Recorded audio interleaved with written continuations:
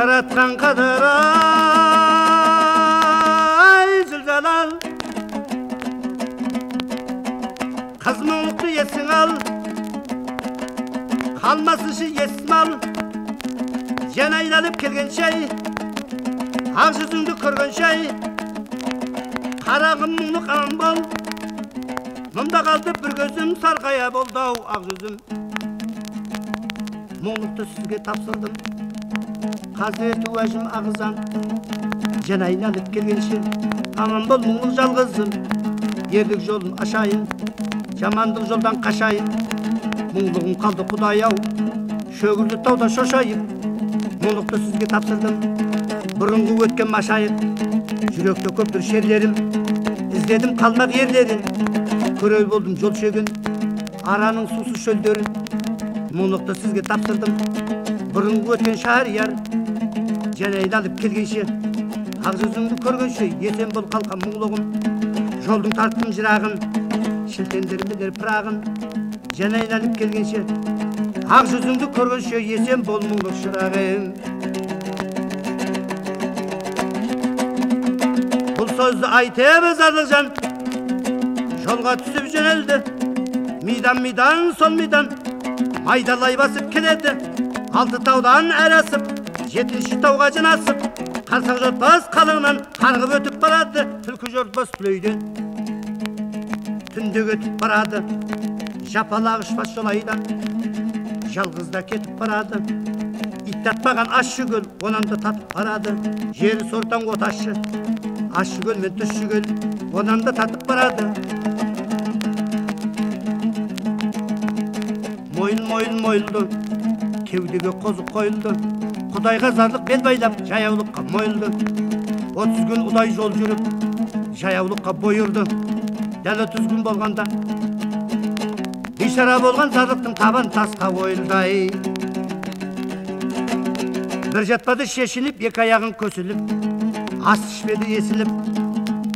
дәл отыз күн болғанда жүруге аяқ жарамай табаны қалды кесіліп жылай берді зарлық жан күре тамыры кесіліп тау басында қарағай. Зарлық жан зарлап барады ай ақсаңдай басып барады болжанды жерге жарамай. Мінген аты құлады қайысқан болады сынады. Үстінен тері кепкен соң жүгірген жүйрік тынады. Жүруге аяқ жарамай бір жерге келіп зарлық жан ниет бетінен құлады ай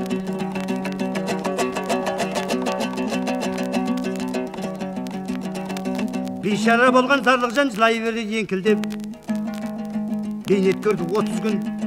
Құс ұшпастың көлінен мұндай болды зарлық жан кемпірдің айтқан тілімен. Ісімде көптір күнәһи.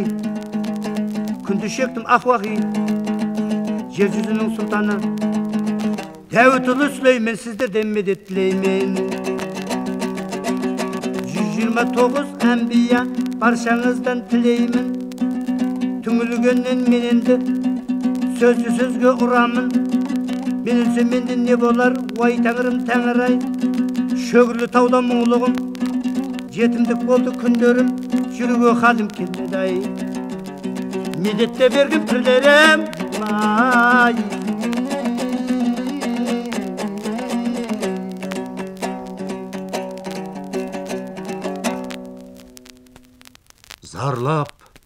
бұл сөзді айтып жатып еді. Өзінің медеткері тумастан бұрын атасына аян берген қазірет қазір пайғамбар түсінде тұр балам деп өте берді.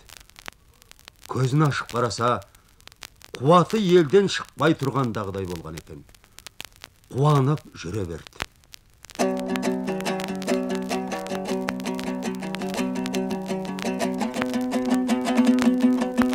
Пірлеріме де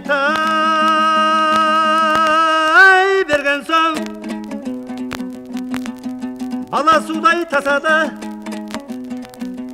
қайтадан қайрат шашады пышақтай болған тастардай көмірдей шаншып басадай бірнеше күн жол жүрді бірнеше түн бел жүрді мұнан кейін зарлық жан тағы отыз күн жол жүрді көрінерге көз болды сөйлеріне сөз болды зарлық батыр тағы да бір биік тауға кез болды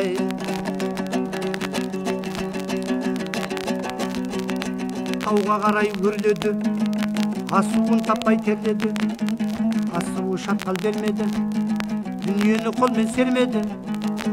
Ол таудан асу таба алмай зар қылып зарлық еңіреді. Бұзамын деп шығып ем. Күлмес ханның ордасын мінемін деп шығып ем. Гүлсәрі аттай жорғасын. Осы таудан аса алмай қалғаным ба сорбасын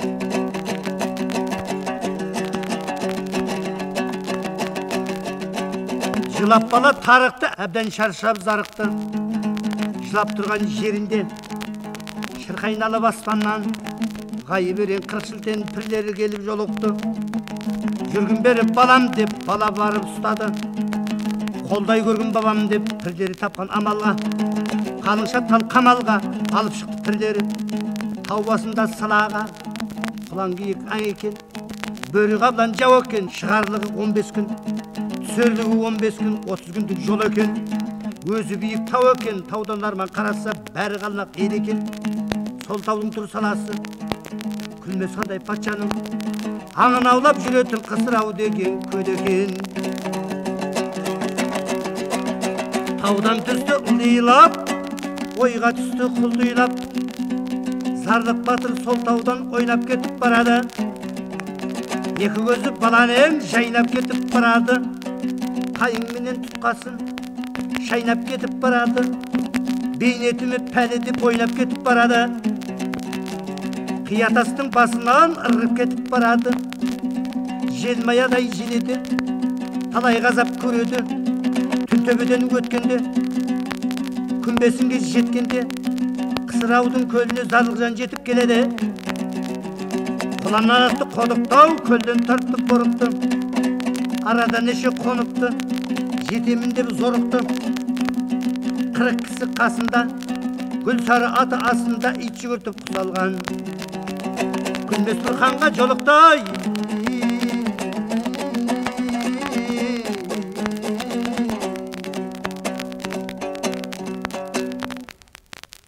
әл хисса күлмес ханның қырық жігіті жалаңаш баланы әдепсіз деп найзаларын суырып алып шаншып өлтірмекші болады бала тақсыр жігіттеріңізді тоқтатыңыз. Айтатын арызым бар депті. Хан жігіттерін тоқтатты. Бала күлмес ханға мынандай жауап береді.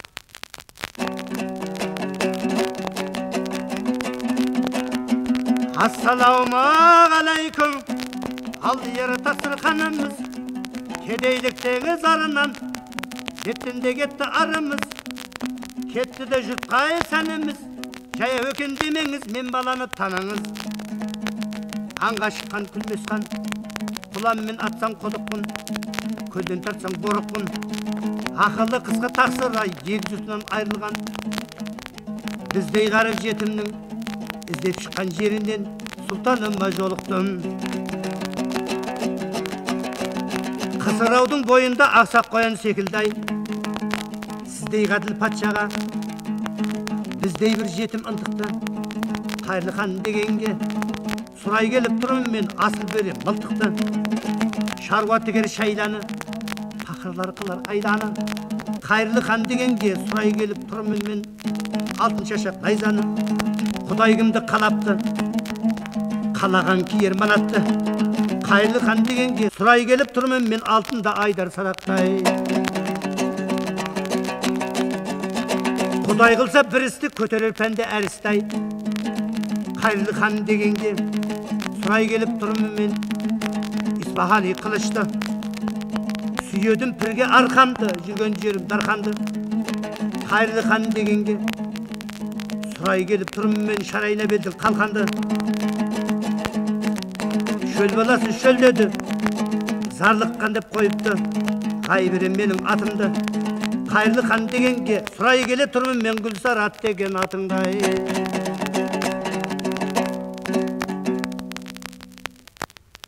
Зарлықтың бұл сөзіне хан күлді де жүре берді.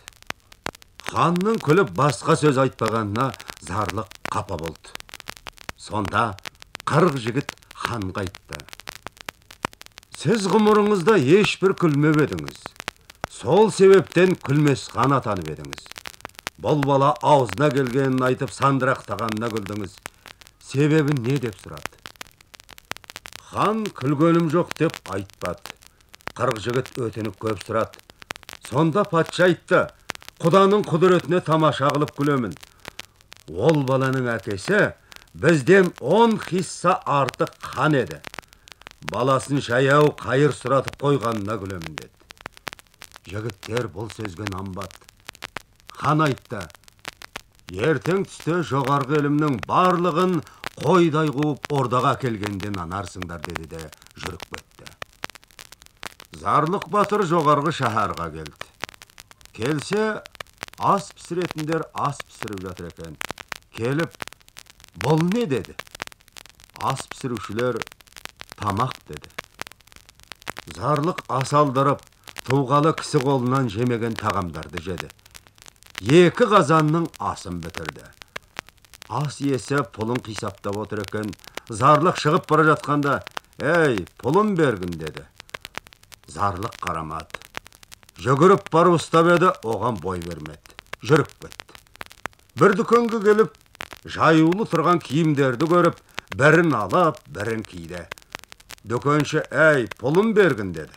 Таңдамады. Сонда тамам қалмақ жиылып киген шапанын тартып алып қалды. Зарлық біреуінің балтасын тартып алып кетті.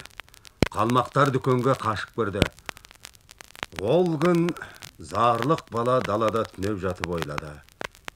Енді не болса да кешегі өзім көрген дүкенге барайын. Өзіме лайық бір шапанды киейін мұңлыққа лайық бір шапанды алайын деп орнынан тұрып таң атысымен жүгіріп келе жатты.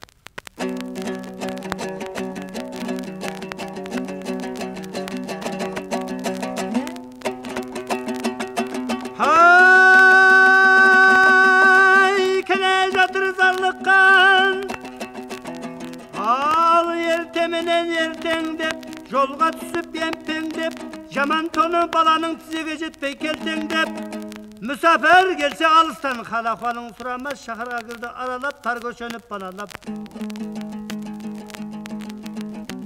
қалмақ деген занталақ екі беті қанталап зарлық жанды көргенсең жиылды бәрі анталау онда зарлық келеді ақ мекендей желеді өзі батыр ереді қалмақпенен ісі жоқ кешегі көрген дүкеннің құлпын бұзды балталап онда қалмақ келеді ұрысқылап береді құр дүкенді паналап қолындағы арқанмен қуалап ұрды сабалап одатадан туады бұдатадан туады он бестейін жиып ап өрі түйген қойдай боп тұстысында қуадай садағы жеткен жер болса атып кетіп барады. Талай қалмақ қырылып жылап кетіп барады. Шаһардағы қалмақтар қашып кетіп барады. Қылышы жеткен жер болса қырып кетіп барады. Өз білгенін зарлық жан қылып кетіп барады. Көп қалмақты қырмаққа қуып кетіп барады. Қойға тиген қасқырдай сойып кетіп барады. Алпыс атты бір жерге жетпіс атты бір жерге түйіп кетіп барады. Мола қылып өлгенін үйіп кетіп барады. Зарлық батыр қалмақты жойып кетіп барады.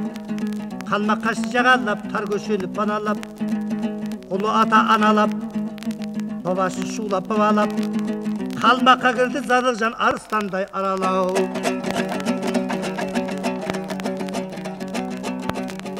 Батыр туған зарлық жан қалмақты қырды сабалап қалмақ қашып кеткен соң батыр туған жан болғасын мойнын бұрады. Өзі көрген дүкенге қайтып кіріп барады. Бекітулі дүкеннің балталап құлпын бұзады. Киді киім қабаттап шүкір қып қаққа тұрады шарайна алып қолына суретіне қарады сонда тұрып сөйлейді сөйлегенде билейді. Бұл жібердім қалаға бұзау бастап танаға. Қанша киім кисем де жараспайды екен ау мендей күнге күйген қарағау сонау көлге барайын әбден аппақ болғанша жеті күн жатып жуынайын суға қарай жөнелді ессіз тастап қалмақтың қазына дүкен сарайын батыр туған зарлықтың жүрегі оттай қаулады ағар деп денесін балшыққа суға аунады жая десе жалдай боп шекер десе балдай боп көл шетінде толықсып жата берді зарлық жан толқын соққан желдей боп ай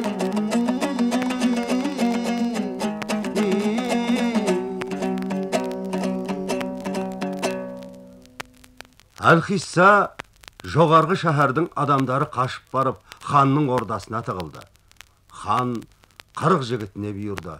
Сол баланы тауып әкеліңдер жалғыз қызым құралайды беремін. Сөйтіп көңілін аудармасам елімді қырар депті. Әр жерден қарап жүріп көлдің шетінде шомылып отырғанын көріп жақын барсақ ұстап алар алыстан шақырайық. Егер ол сол арадан ұмтылса ордаға қашып барамыз деп анадайдан тұрып зарлыққа жігіттердің айтқаны.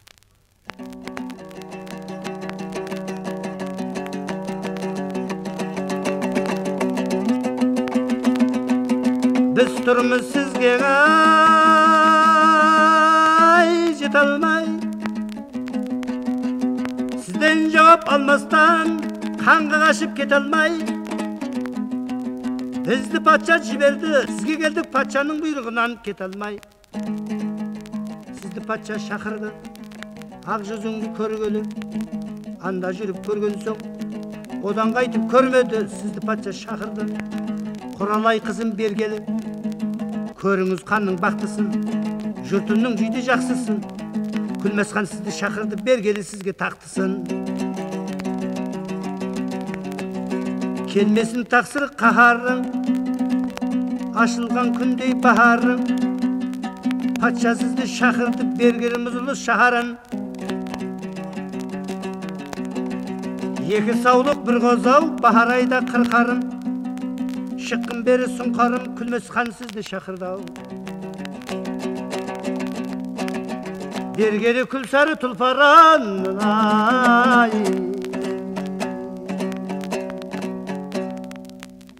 әлқисса зарлық менің қарындасыма айтқан пірлер екен деп ойлады. Жігіттерге келіңдер менің қол аяғымды байлап айдап барыңдар дейді. Жігіттер қасына келіп аттарынан түсіп жақындап еді. Зарлық атын тартып алып өздерін жаяу айдап ордаға келді